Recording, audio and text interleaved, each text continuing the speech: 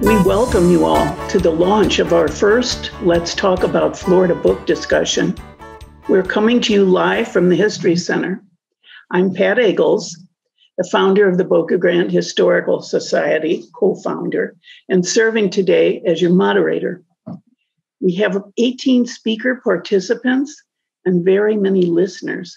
Our Zoom format is easy to follow our program producers, Sean and Brooks Paxton, as well as our tech expert, Vic Rebmann, are on standby to assist if needed. I think we're all ready. Patrick Smith was our first author presenter that the Society invited to speak in 1995, the year of our founding.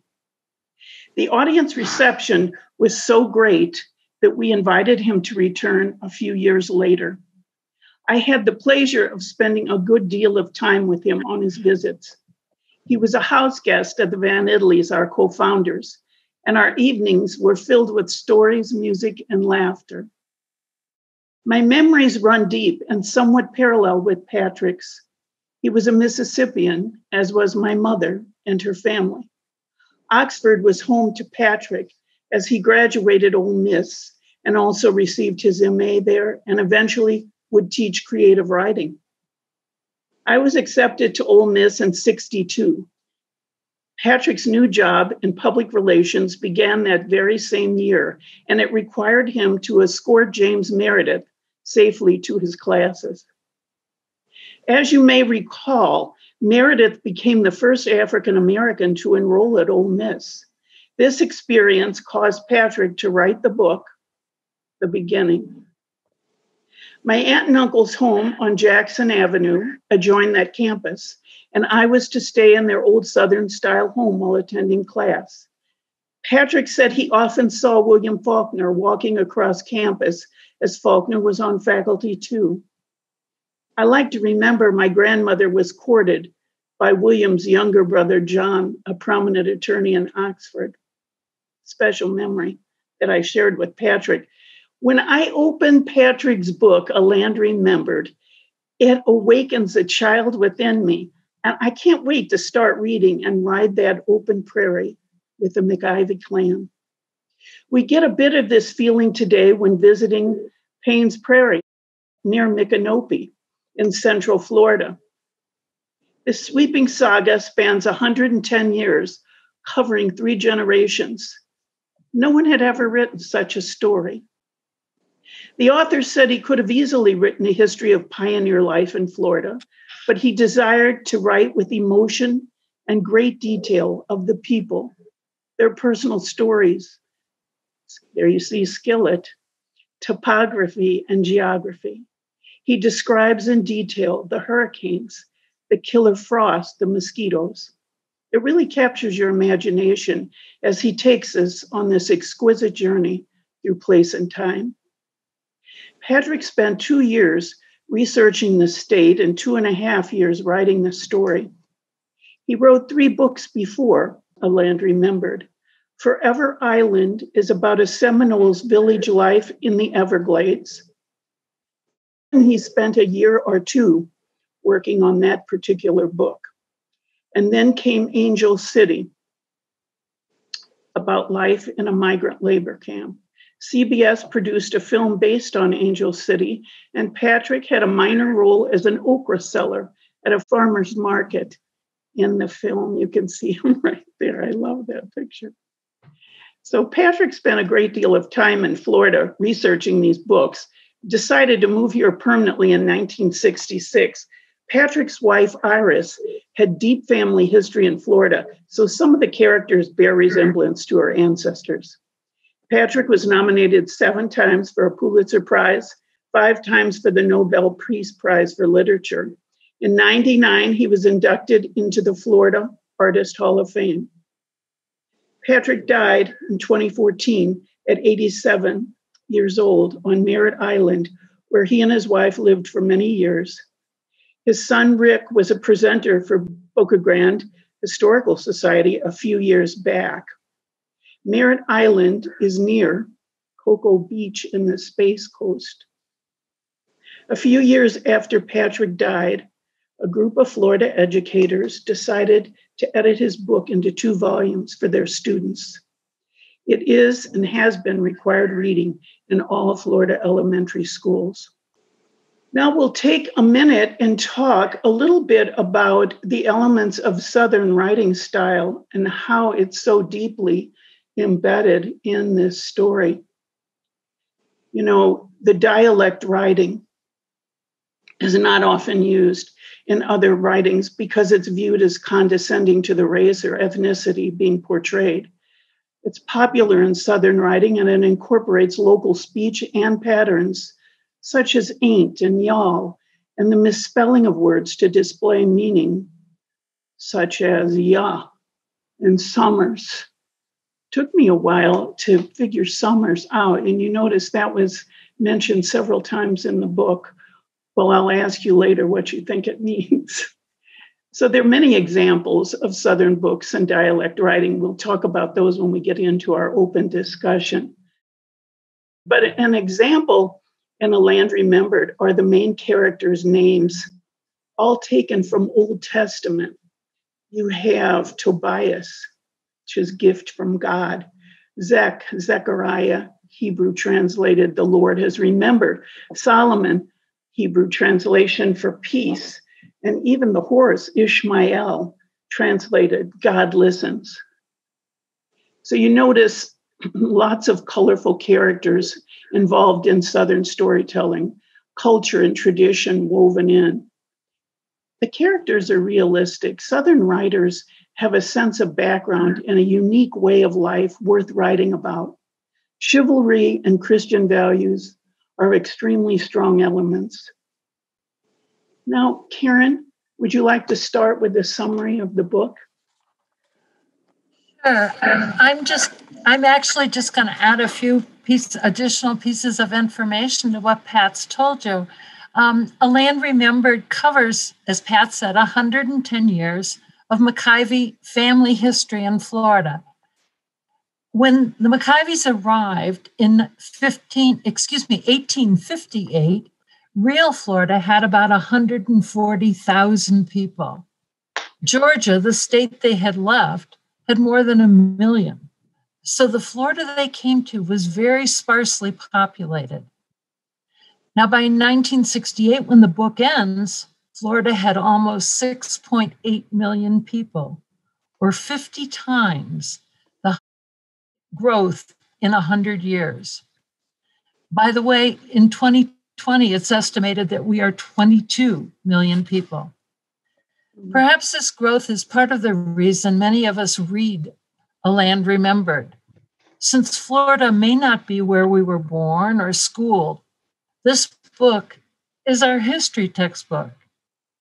And we aren't the only ones who use it that way. As Pat has already mentioned, many of Florida's elementary and junior high schools use this in their Florida history courses. Now that brings us to our first question. What in the land remembers story of Florida surprised you? And I'm going to pick on Pam Heilman to give us an answer. Thank you.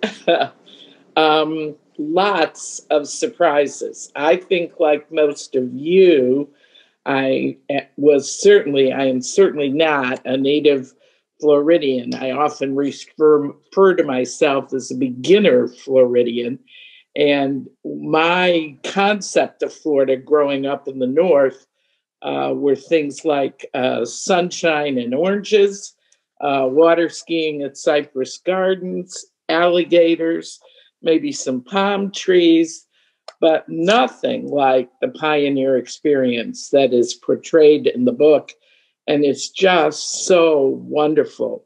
And the feeling that you have that you're just immersed in the land. And so it's almost as though every chapter is a surprise. Who knew Florida was a major cattle state? You know, at one point, I gather there were more cattle in Florida than Texas no longer true, of course, but a definite part of our heritage. And although somewhere in the back of my mind, I think I knew, you know, the Spanish connection, uh, just the way the cattle are sold to Cuba. And of course, being here on Boca Grande, we hear how the mullet were at first sold to Cuba before um, refrigeration and the train and so forth. So, this really strong connection to the Spanish culture in this part of the world was also quite new. Uh, and I'm sure many of you had have had much the same reaction. Witty, any any thoughts on on surprises?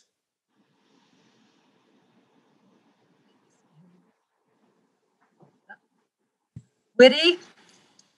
Yeah, there she is. Here, I had to un- unmute myself.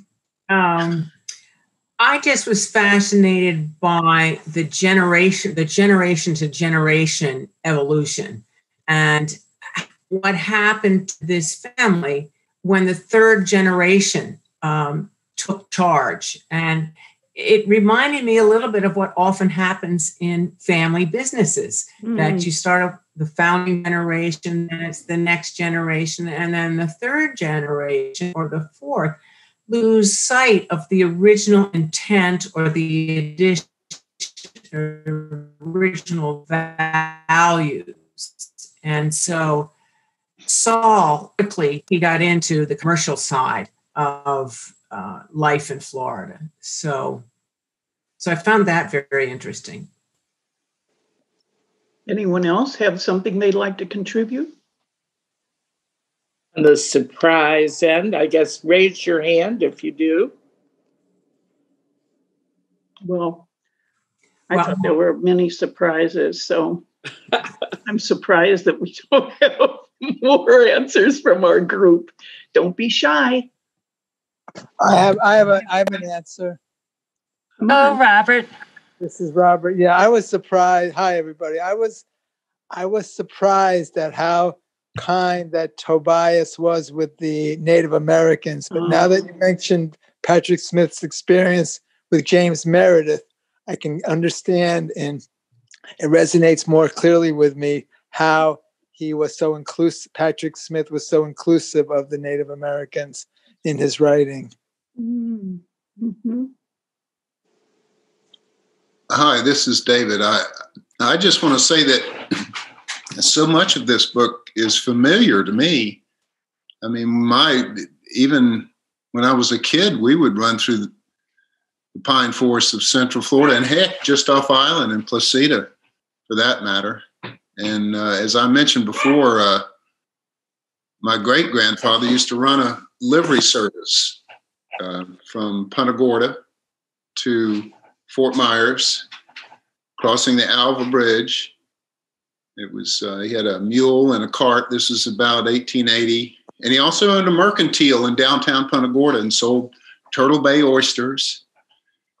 And uh, so, you know, a lot of this is very familiar to me. And then some of the other things that I've read in the past about how, uh, for example, the I think that some of the early people on Boca Grande walked there from um, Cortez, Florida, which is off of Bradenton.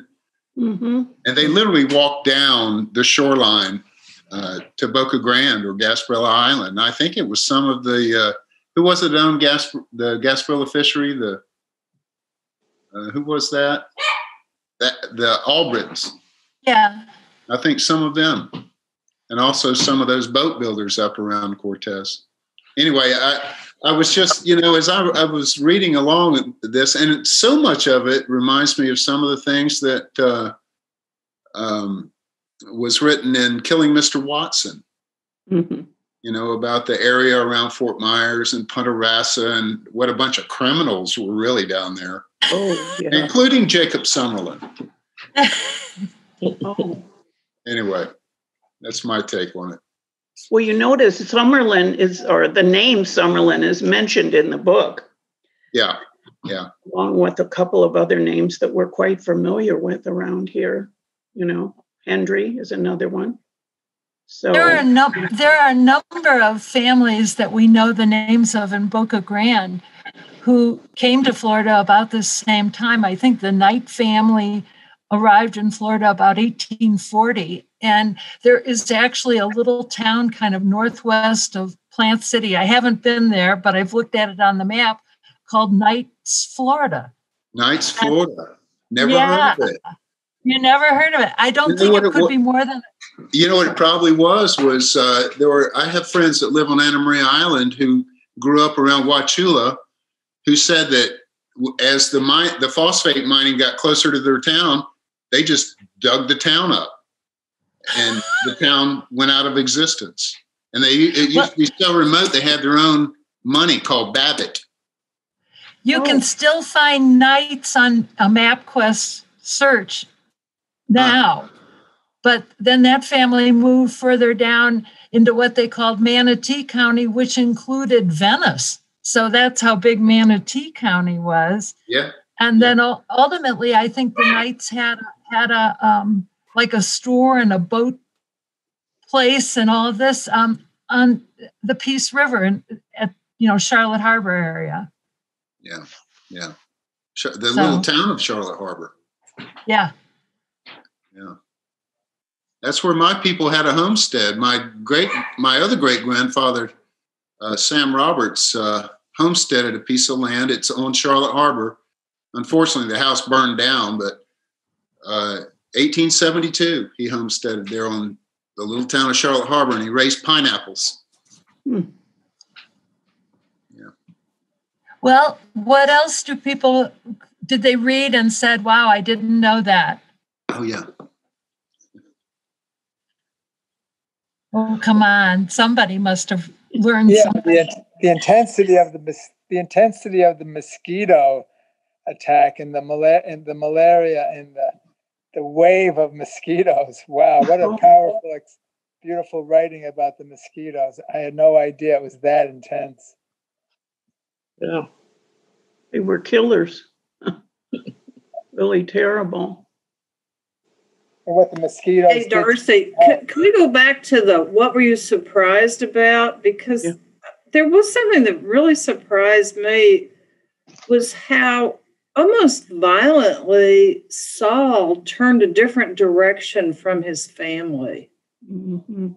And and I kept trying to figure out was it simply because they had all died and his father had told him not to get close to anybody that like a dog you would lose them and mourn forever i i was just shocked at uh, uh, really the, the violent turn of his personality from that of his father and mother and grandparents Mhm. I think Do you think it, do you think it's indicative of of the change that happened as Florida developed? Well, see, I feel like he was the symbol in terms of personality and person of what was happening to Florida. You know, he evolved into a more uh, aggressive businessman, let's develop everything kind of person as others were doing similar things. He just sort of led the way. But I agree with Gay. It was, uh, that was a real yeah, turn of personality. it was a definite departure from the MacIvey clan, their way of fun when he- thinking. when, when he left the clearing, when he left the hammock, he, he decided, I am going to be different. And, and I, I just, I could never grasp what the motivation was that, you know, what, what drove him to be so different, to be frankly disrespectful of the environment and of the native peoples. money is the answer to that question. okay. Well, that does seem So, what do you think? How do you think Florida was developed? I mean, look at all these people that even live on Boca Grande, um, starting with the Babcocks, the Wilsons, whomever. These were old line Florida families. Then, instead of orange groves, it becomes condominiums, and the and the return is so much greater. And so many people, you know, kind of sold out Florida, really tore out mangroves, and we only have half the mangroves that we had in Florida in 1960. Only half. So that I think greed probably played a lot in it, and I that's do why you too. see the change in that guy. It also happened to all these old line Florida families. Their descendants looked around and said, "There's a lot of money to be made in developing our lands." Anyway. Yeah, Pat. Well, I- I Yeah. Um, and I think you you had started this. I, I I I had the sense that that's what Patrick was trying to write about, and you're right. In in the book or for the character, it you had this feeling of violent shift, but I I thought it was his way of portraying this extraordinary drive to development that is Florida. And after reading that book, I would say to people, I think development is Florida's middle name. And it's just it's it just keeps coming as as we know, and we can only hope that more and more of us um, are more concerned about the environment than the dollars, but it so feeds on itself. A state that doesn't have a state income tax to raise the money it needs to do things. So, where does the money come for all the local governments? It comes from real estate taxes and development fees, which are huge, a totally almost foreign concept to somebody from Western New York. I mean, for as I understand it, 40, 50,000 or so a unit in these condominiums that have sprung up in Sarasota. And so this this huge force of development to me is very much a part of Florida, not necessarily a good one. So Mhm. interestingly, he doesn't portray the character as as the beautiful man Tobias was. I also believe that as man moves further away from the land and into buildings, man made buildings, structures, he loses his connection with the sacredness of the land and the real value of it that the early family members had. They lived on the land, you know, and of course, Tobias died in his field, you know, hoping to save his crop but you know there was that love of the land and a survival uh, feeling that really was incorporated into everything they did also this acceptance of uh, the blacks into their community into their family life the native american into their family life uh, because they were surviving and it was all one group of people, one community. There was no differentiation between skin color and culture, if you will. It was survival.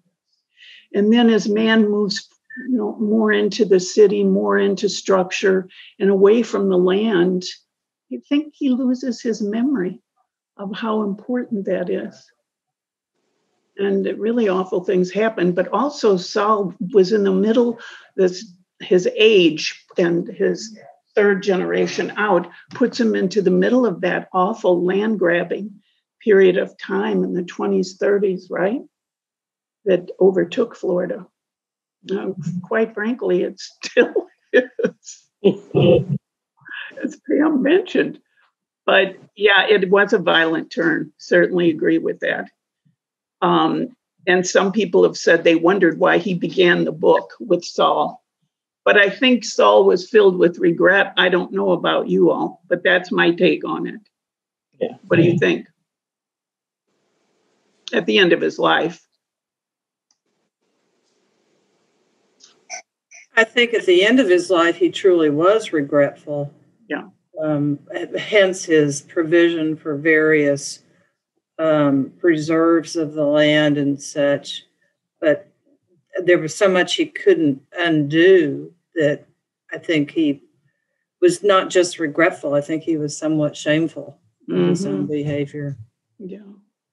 Um, I, I will I will share a thought with you all. I, I happen to be a cattle producer, and I was really taken by the cattle drives. And moving cattle is a tough thing to do, even when they're domesticated. I cannot imagine moving a wild herd of cattle the way they mm-hmm. did. That was remarkable, just remarkable. And really did you- long distances. yeah. Uh, exactly. Uh, uh, Florida is the second largest cattle producing state east of the Mississippi River. Oh, yeah. And has been for, for years. The, the largest cattle producing state, strangely enough, is Hawaii. And uh, uh, Hawaii also used to uh, swim their cattle off of the big island onto ships. And then they were taken to the other islands and also to Southeast Asia. Swimming cattle is not unique to Florida. You know, I think if the um, book had started 20 to 30 years earlier than 1855, the relationship between the Floridians who were here at the time, the Caucasian Floridians, was not that good with the Seminoles because I mean it was a war, you know, and they sent Andrew Jackson down here, and you know it's kind of like Vietnam. They just they just didn't accomplish anything, and so they went home and declared a victory. But I guess by 1855 things had kind of calmed down a little bit. But most of the Seminoles had gone in the Everglades to hide out, so they weren't up in Micanopy in that area. So that's probably what the issue maybe was. I think a lot of the fighting with uh, Jackson was really even further north, like up in the Panhandle, and and probably further across the state. But I think you're right. I mean, obviously, people. While there are people who came from the south and populated Florida, a lot of people came from Georgia, the Carolinas, Alabama, and it seems to have um, happened mostly after after the Seminole Wars. Although not entirely, you're right. I mean, there were there were people even in Fort Myers at that time. So, well, I think a lot of the Florida settlers were Southerners who were having problems with the the post-war situation and felt that they could get a new start in Florida, and, and there were a lot of you know people that carpetbaggers and whatever you want to call it, a lot of escaped slaves had come to Florida, had kind of joined with the Seminoles. So, you know, Florida was kind of a mishmash of people that weren't happy with the, their current situation economically. Uh, you know, in in north of Florida, and probably most of them were from the south, but I'm not sure about that either. Sounds like today. Only the group is older today. Yeah. Yeah, some of the same reasons for sure.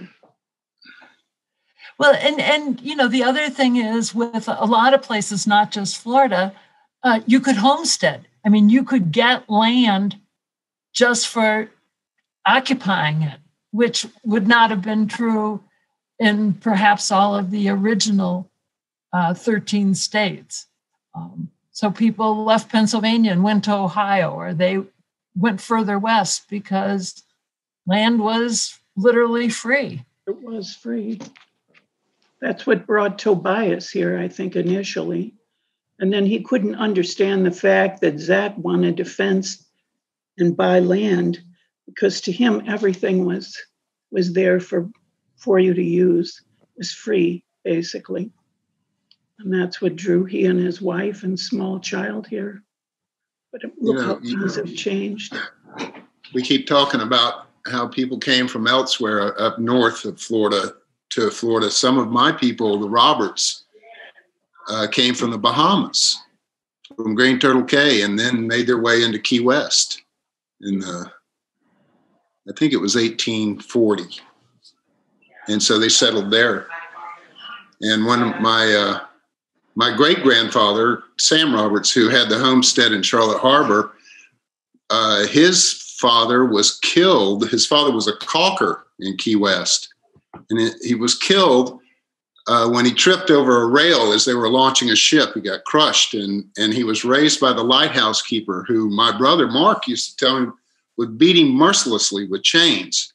So at 15, he escaped with you know Cuban smack boat and ended up in uh, Cape Sable, and then made his way up north to Charlotte Harbor and started fishing off of uh, I guess at Pekin's Ranch, and then went over to Charlotte Harbor. Anyway, that's an interesting thing that you know a lot of people think that everybody came from north. A lot of people came from the south too, or from the Bahamas mm-hmm. into Florida. That's a good point. Well, what do you think? What are some of your favorite characters from this book? Well, uh, certainly they were well developed, So, what do you think about that? Which one stands out to you the most? I don't know. You know, again, they all seem so familiar to me because I, I've been around Florida for so long. I've seen all these characters. Heck, there were a bunch of them on the island. Even like I t- mentioned, you know, about the Wilson family raising cattle over in Central Florida, Coot Wilson. And uh, he was a great friend of my brother's. And Coot was just a regular dude. I mean, you would not know this guy had a penny. And uh, so, you know, a lot of the characters in the book, they are familiar to me like the people like Coot Wilson was or is. And, you know, Coot walk around cowboy boots and old plaid shirt. I'm telling you, you didn't know the guy had two nickels rubbed together. He's just nice as he could be. So I don't know. They're familiar to me. I like, like Ready? sorry, I should have raised my hand. Um, I, I, I like the choice of names. I mean, Frog, Skittle, um, Bonzo. Wasn't Bonzo one of the names? Yes. You know, in addition to the names that came from the Bible, the contrast with some of the, you know, local characters and Yeah. Frog. Frog was another one of them. I mean, I thought, wow, what a rich array of names and uh, how they lived up to those names. my grandfather had eight brothers, and uh, some of their nicknames were Brick, Pork Chop, Dunk, Muddy. They all had nicknames. Shug, Shug Futch. So yeah, everybody had a nickname. And Shug Futch, uh, they called him Sugar Boy, and he always wore white when he was a guide: white hat, white shirt, white pants, white shoes. He always had a Pall Mall sticking out of his mouth. That's what I remember. Anyway, so you know, these characters that I see in this book are the same sort that I see on the island or saw when I was a kid.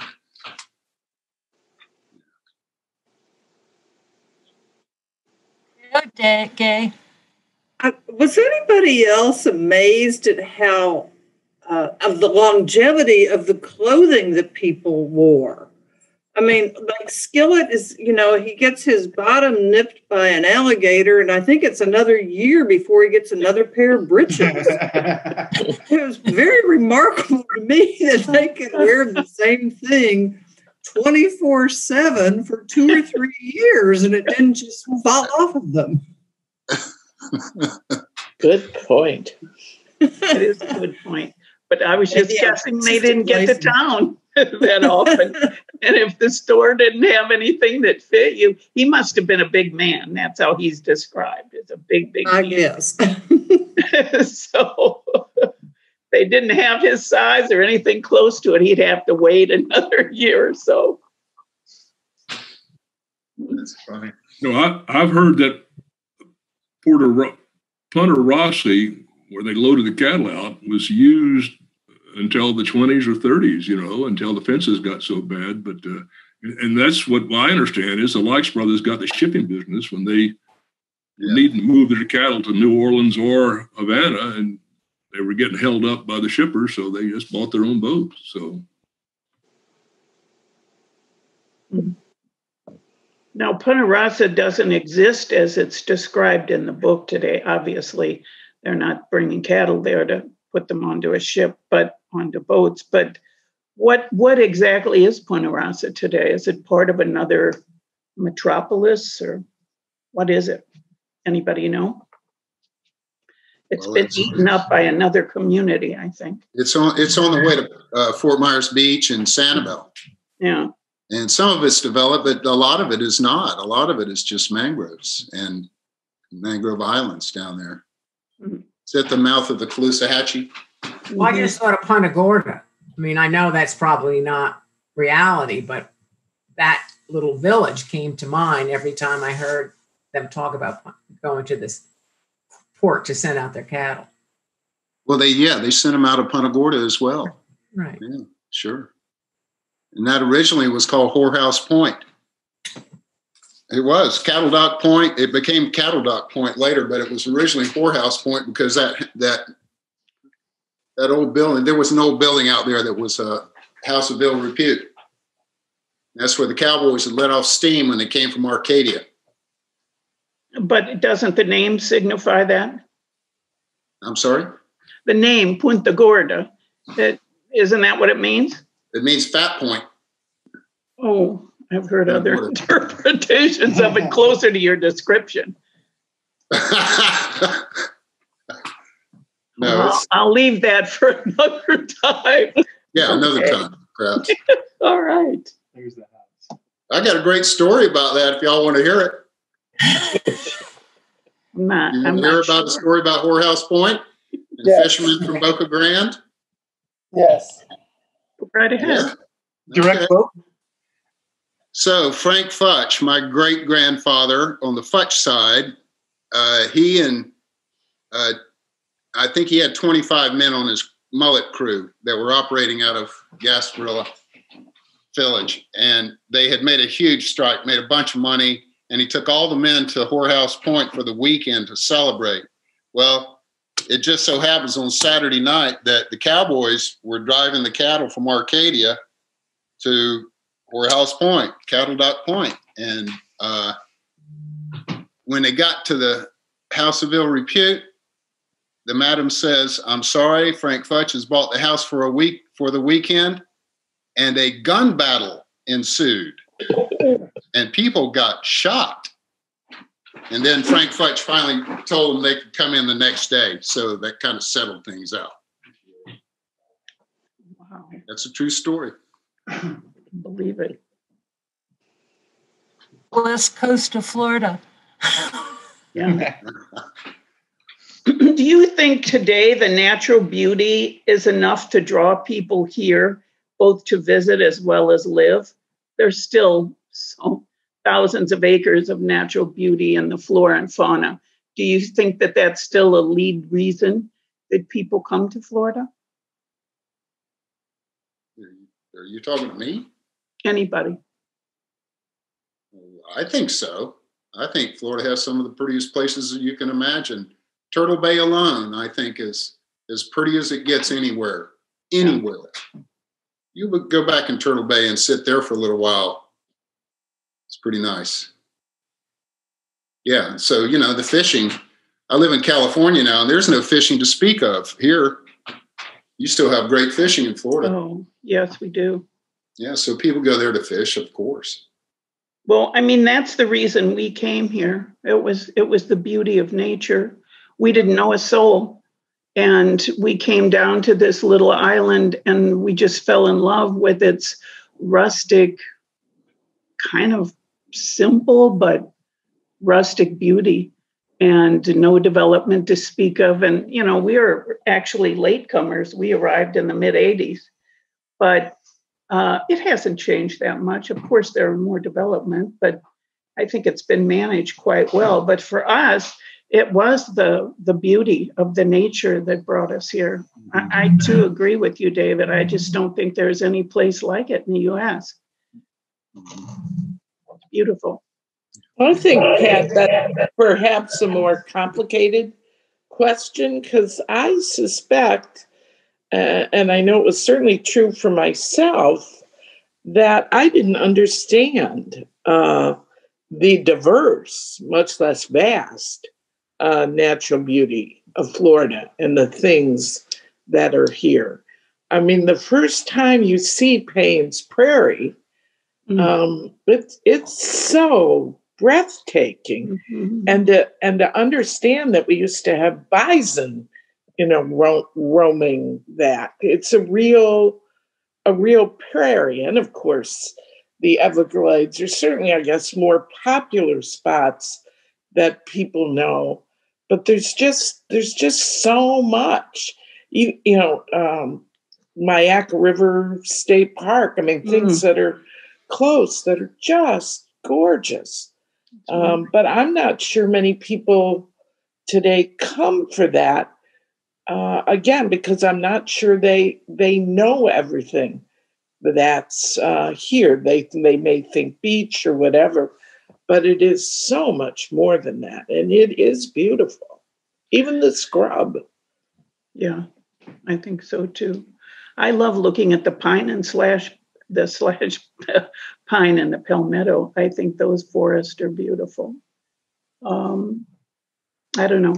I, I, I have a lot. To, uh, the flora and fauna to me are, are what it's all about. I record all kinds of wild creatures as they cross my path each day. And I was communicating with a group of my friends in Santa Fe where we lived for a long period of time. And this was just a, two months ago. And I sent off the photos because someone was complaining that they had ants.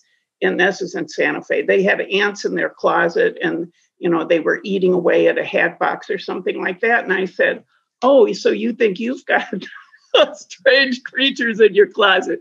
Have a look at this.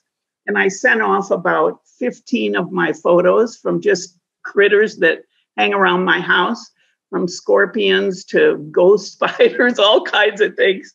Mm-hmm. Oh my gosh, you could not believe the comments I got back. Oh, well, that's why we would never live in Florida. That's awful. That's terrible. it's too wild of a place, you know, and I, I just love it for that very reason. It is wild. There's still so many wild elements of it. And I think that's what keeps me here. That's what drew me here. Yeah.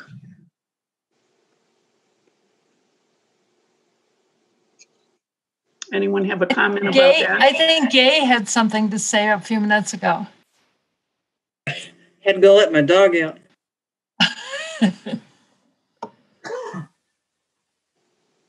but you you raised your hand a few minutes ago, Gay. No. No. She's okay. muted. I think she's muted. Yeah. There. Now am I muted? Now you're. Now I think now you're good. Okay. I can't even read the little things on my screen. I, I think people come to Florida for different reasons, somewhat based on their generation.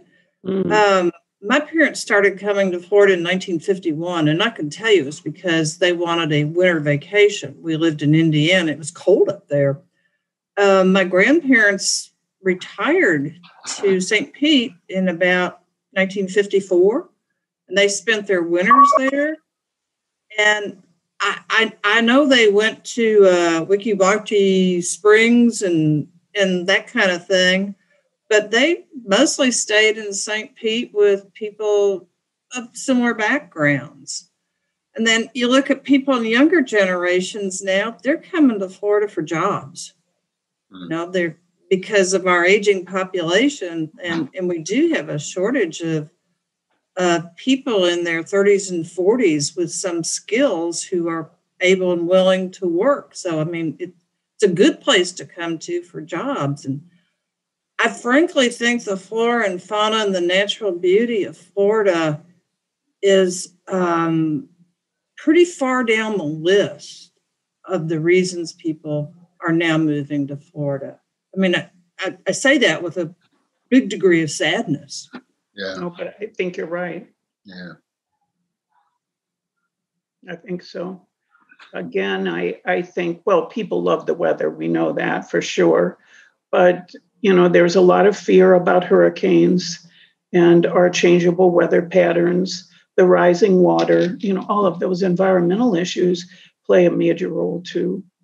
Um, and, you know, those are the things we don't like to talk about, but they exist here. And it's something that we have to learn to work with and deal with, hopefully, in the next years.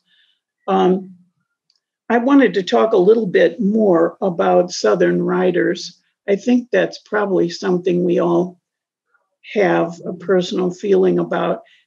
Let's talk about some of your favorite Southern writers, who they might be, and your favorite Southern book, writers' books. Anyone want to jump in here? You know, Patrick used this, the elements of Southern writing. I mean, this was just classic, the way he laid out this book and wrote. And um, that's what hit me first, besides it's being a great story. He used almost all of the elements that we talked about in the beginning of this discussion. Who are your favorite Southern writers? Pam? Well, I'm I'm probably not really strong in this area, which is one of the things I've enjoyed maybe learning. And I I thought your list earlier on the screen was fabulous, but um, one that comes to mind would be, I guess, Marjorie Kinnan's Rawlings. Again, the feel of the land, the culture, uh, the dialogue. Um, you just really feel as though you're living with her at Cross Creek and and floating down uh, the river. Um, and um, you know, again, somebody we've talked about maybe highlighting in you know in one of these conversations in yeah. the future well, she certainly used the dialect in her book actually patrick's dissertation was on marjorie kinnan Rawlings. That's probably not a surprise to us but yeah and the yearling. and you know i think people know her for the yearling but yeah.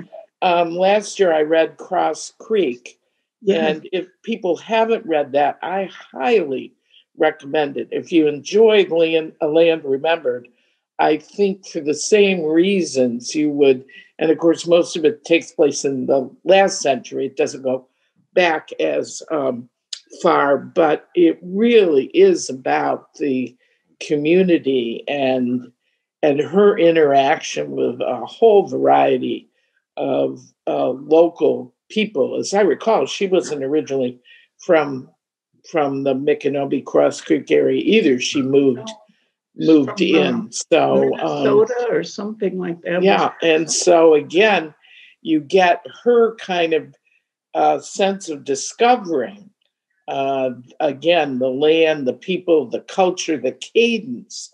You feel that in a land remembered too. This being tied to uh, the rhythm of the land, certainly in the earlier with the MacIveys mm-hmm. and how that really influences um, their life, the pace of their life, the way they move the cattle across. It's difficult as that clearly was. It wasn't as though they just drove them, as you know.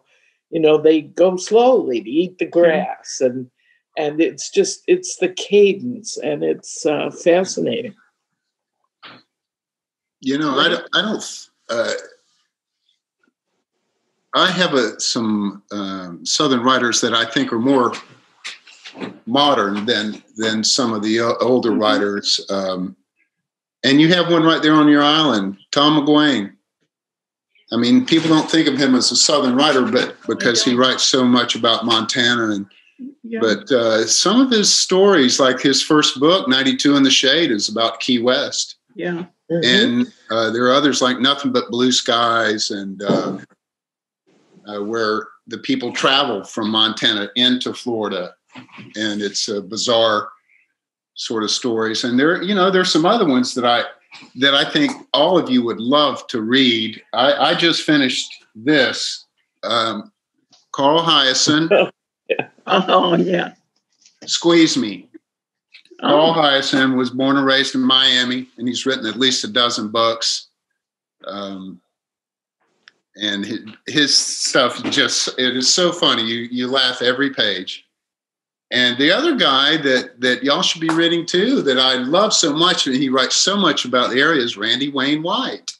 Yeah. And he's got a new book out called Salt River that is mm. just fascinating. It's a Doc Ford book.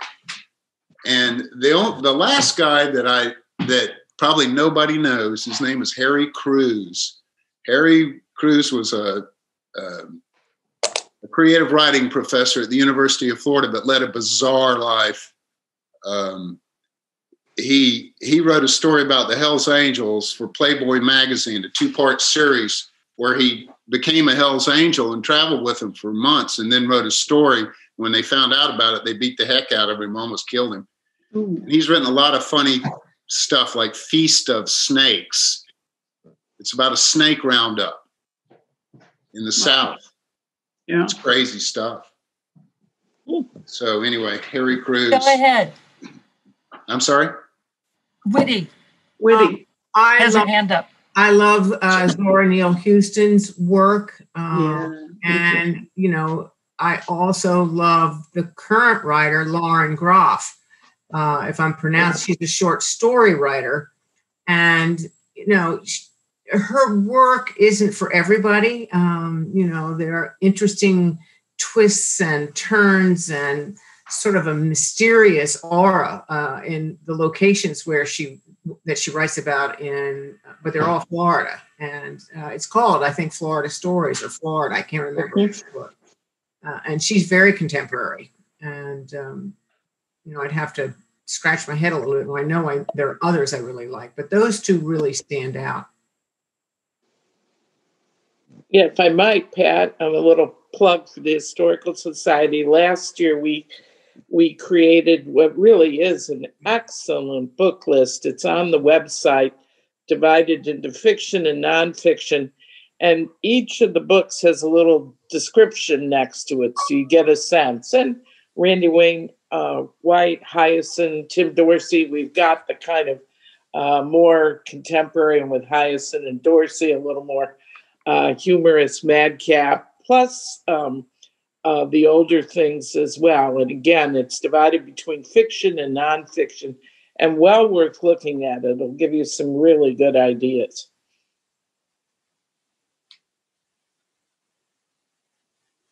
Where is that list? On uh, the Historical Society website. Mm-hmm. And uh, next year we'll have your book on it. David will. David is going to be our speaker in January, and uh, we're going to let him talk a little bit more towards the end about that. Uh, but there will be a. I, I, hope I'm on the list next year. Do a review. It might be with an asterisk. You never know.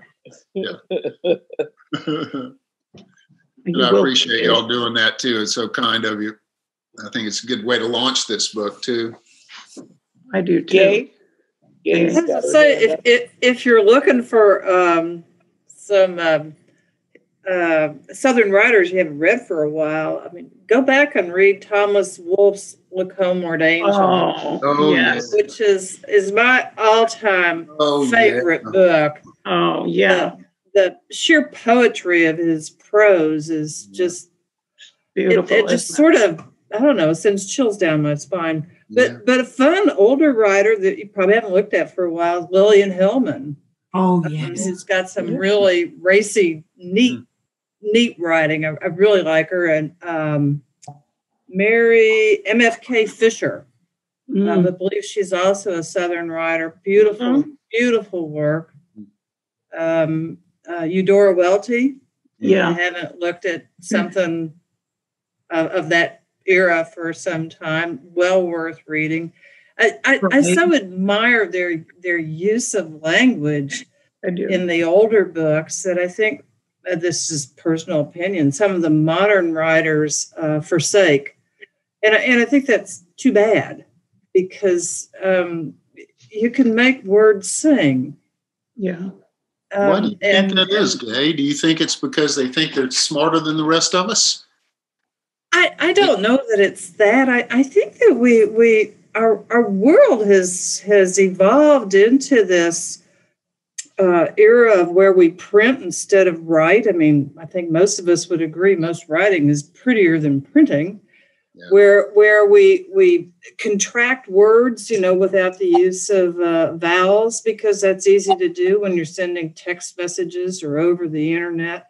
Mm-hmm the rapidity of our of our lives as they've evolved, I think, has um, uh, maybe caused a loss of some beauty in writing. Yeah, and, and I think that's a sad thing. I mean, I think you're right. Uh, you, go, back, back and read, read, the Old Testament; it's beautiful. I go mean, back and go, go back and go back and read some Dickens, and oh, that's, gosh, it yeah. just sings. The yes. Tale of Two Cities, for God's sake. He's not very southern though. Good expectation. No, he's not. He's not. But, what? But, but yeah, Southern man. England. Southern England, London. All right. Absolute. I, ju- I just miss the beauty in writing. I know. I tell you, one of my favorites, Flannery O'Connor. Mm. and her short stories and her use of dialect writing, uh, her moral uh, conclusions at the end of her short stories. I, I, don't know. She certainly gives me a kick. I, I, like her writing very, very much. You know, and there's Truman Capote and Tennessee Williams, and but the Southern writing style has somewhat ended, I believe, probably in. I think Patrick was late in coming to it uh, in the 80s when he wrote this book. But I think for the most part, Southern writing and that whole genre ended probably in the 50s. Mm-hmm. So that's why we don't see those, uh, well, but why? Southern Gothic novels. When did it disappear? well, also, I think because we were becoming more of a melded nation uh-huh. and not so much North and South, and that we were coming together as uh, one nation, not so much the the old South. So I think you know writers write what's happening in the world today. I don't know, just a thought. Anyone on that? I like Ricky Bragg. He has some plagiarism problems, but uh, I think he's still a southern young southern writer. Not that young, but and Pat Conroy is always a great oh, guy. absolutely. That's that's true. Yeah, there's a young young Floridian. Well, she's probably forty now. Um, she's out at the Iowa Writers School. Karen Russell wrote Swamplandia when she was uh, thirty, and it is just so. She grew up in Miami. It's a book about the Everglades. Um, and it is truly amazing. It's isn't, on the list. Absolutely the beautiful. Isn't that the book where she talks about uh, them driving across the Everglades, making Alligator Alley? That, uh, she may, yeah, she may a little bit, but this is a little more modern. It involves a uh, kind of a uh, the development of a glitzier, larger Florida theme park next to her her family's long, uh, more natural Florida theme park in the swamp, and a lot of time spent in the Everglades. And she's just a beautiful, beautiful writer. Yeah. Karen Russell, Swamplandia. Yeah, it's got a lot of on our reading list. To the style. Yeah. Isn't that on our reading list? It is. It yeah. is. Pat, you you asked a question earlier. You said it took you a long time to find out what summers meant, yeah. and you said we, would have we'd put that up to everybody. Absolutely, it appears so many times in a land remember. I struggled with that. Hmm, wonder what it is. Anyone have a guess? S O M M E R S. it's in dialogue where he'll go, Summers, there's a place that uh, we ought to visit sometime. it means somewhere. It yeah. means somewhere? somewhere. Yeah. I think so. Sure. Yeah. I think they so. still use that term in Kentucky. I may not be pronouncing it quite right. Someone with it, a southern accent needs to hop in here. No, it, you are pronouncing it correctly. you know, you Liz, and, Liz and Tanny, you two have been quiet. Uh, things that you might like to uh, add here, or um, similar books from your home states. Uh, happy to have you chime in. Liz has her hand up, I think. Yep. So we need to um, uh, unmute. Yeah, unmute. It looks like she can. No.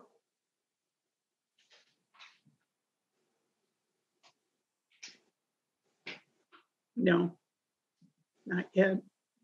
She Andy, actually. Can you unmute? Liz may have signed in as a listener, so we, okay. I may have caused a problem. uh, no. actually, no. She's Okay. a participant. This is Sean talking uh, in the control room here. Is that uh, Liz uh, that you're talking about? She is unmuted, so uh, it may be on her end. Just wanted to let you know. Okay. And Tanny can unmute or not. Liz is going to stay quiet and kill me next time I see And Dodie, what do you think? her. Jody, Unmute, Jody. you're on mute, Jody.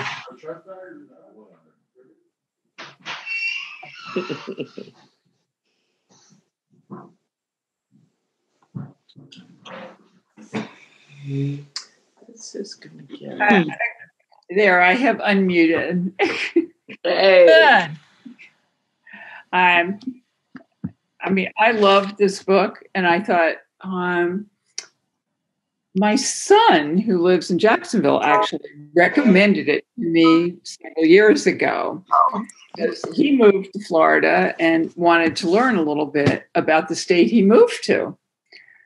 Uh, I think that as a northerner, there was so much I didn't know about Florida. I that it was um, it, it was really exciting to read all about the cattle industry and and how the orange and the oranges and I, there was just I don't think anybody in the north ever thinks about I agree. Florida was um, it's certainly not taught in any kind of history. Florida, Florida, when you're from the north, is about sunshine and beaches and vacations.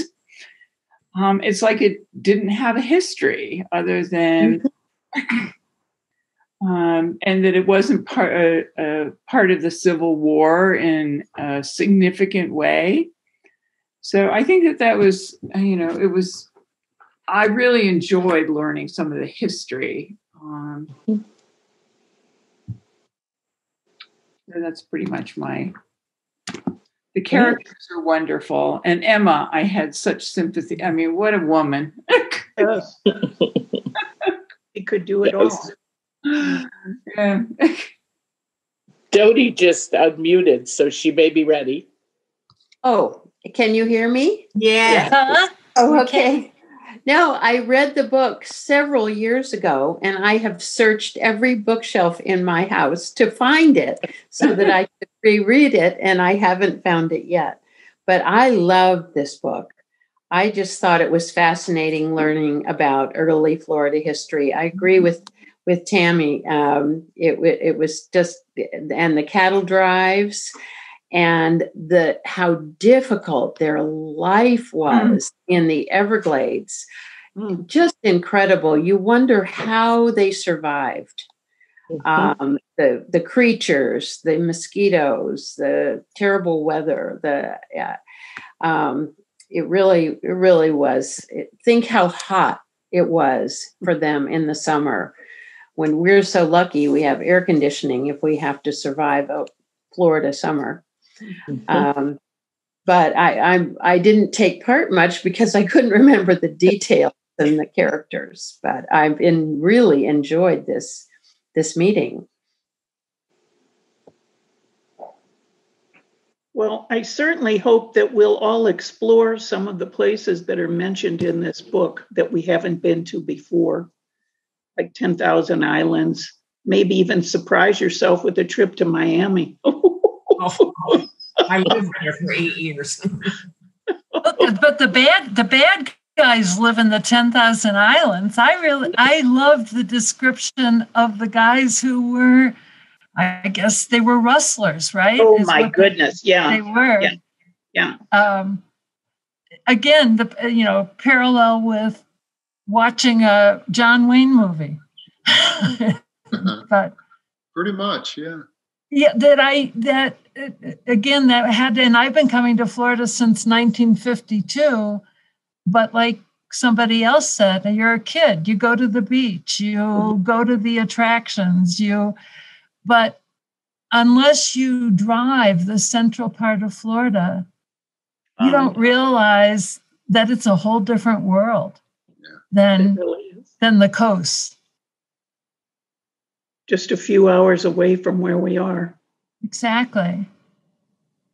Gosh, if you've never been to Bok Tower in Lake Wales, you've missed Oh, Absolutely. Yeah. Fabulous garden, fabulous place. yeah. My Yeah. father used to say it's a place you go to gather your soul together. Mm, true.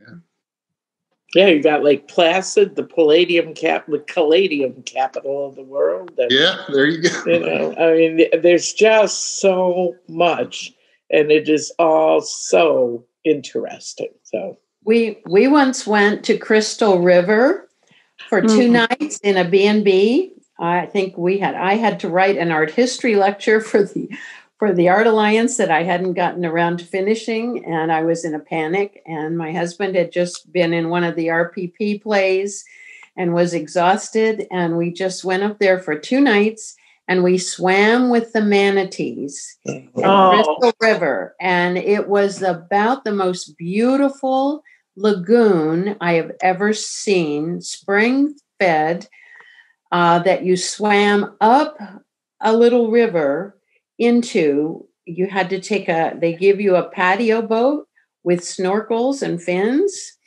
and you swim up a river into a spring fed lagoon that mm, is crystal clear and you swim with the manatees. They swim under you when you're swimming up this little river. It's a little creek.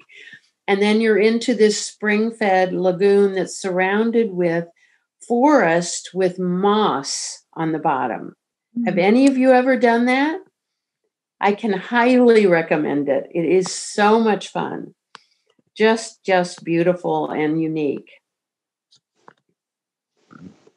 Yeah, you can go up around there, Rainbow River nearby, and you can float down Rainbow River. Oh, float, Crystal yeah. clear. Beautiful. Beautiful. Yeah. Yeah. Well, there's a lot to explore in our beautiful state. Hope we'll all do it, take advantage of that fact.